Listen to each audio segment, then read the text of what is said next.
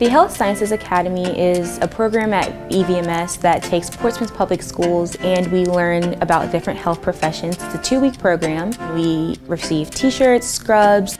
A lot of times students think that the only pathway to healthcare is to become a doctor. We wanted to show them that there's more in healthcare than just being a doctor.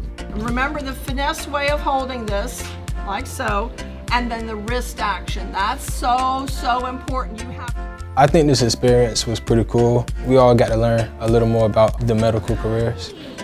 It'll help us out, give us more ideas what we really want to do. It's gonna look just like that. Okay. My favorite part was going to the ultrasound lab and I did ultrasound on one of my friends. See it move when he breathes?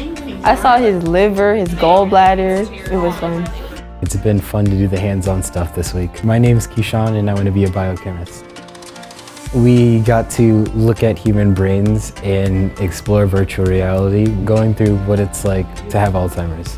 We put this program together to give students in the 9th and 10th grade a vast exposure to the different healthcare careers that are available to them. It's like one of the biggest abdominal organs.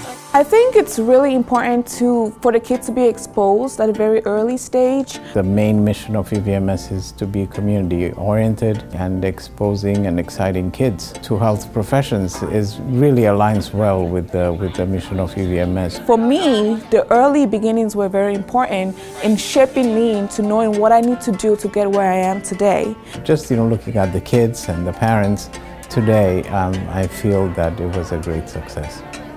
I'm going to 10th grade and I want to be a cardiac anesthesiologist. This experience has taught me to keep pursuing what I want to do, to never give up, even though it's going to be a long, hard journey.